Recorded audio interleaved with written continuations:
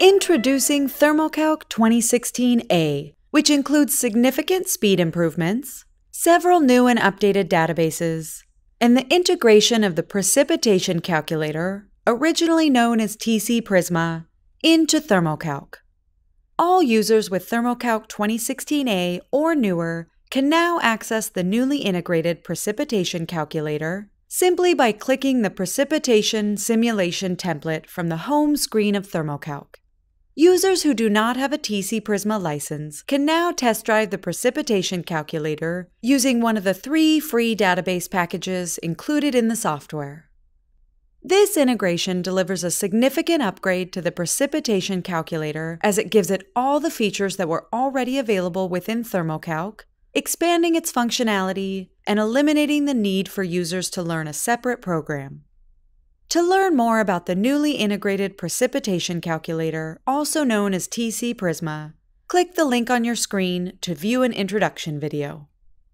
ThermoCalc 2016A also offers significant speed improvements throughout the program. Global minimization has been optimized, improving the speed of most calculations, including single point equilibrium, property diagram, and phase diagram calculations, as well as Scheil solidification simulations.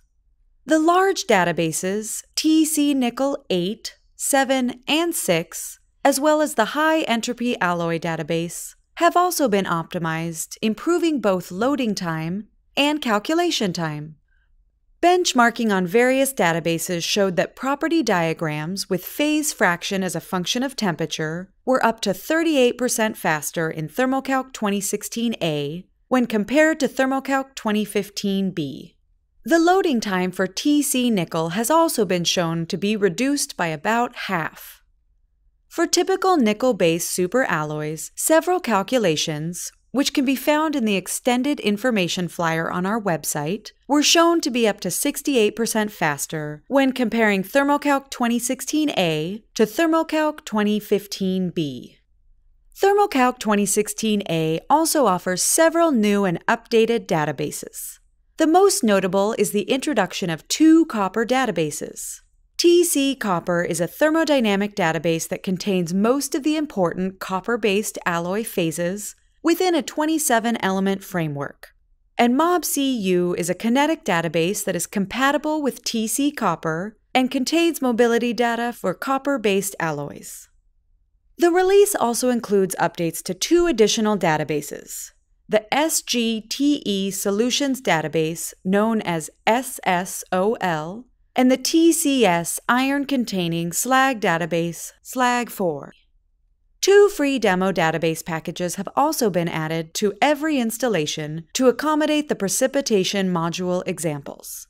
These database packages, Demo aluminum based alloys and Demo nickel based superalloys, include both a thermodynamic and a kinetic database. If you do not see the packages in the drop down menu after you have updated your software, go to Tools, Options, and Graphical Mode. Scroll to the bottom and click Reset to Original Settings. ThermoCalc 2016A also includes improvements to the online help system, which was introduced last December. The online help system is still accessible from ThermoCalc's main menu, then Help, Online Help. The online help system now uses a new interface that organizes information by product, making it easier to navigate and find the information you're looking for. We hope you enjoy these and all other improvements included in ThermoCalc 2016A. To read about the full update, including plot improvements, new training videos, and improvements to the diffusion module known as Dictra, click the link currently on your screen to view the complete release notes.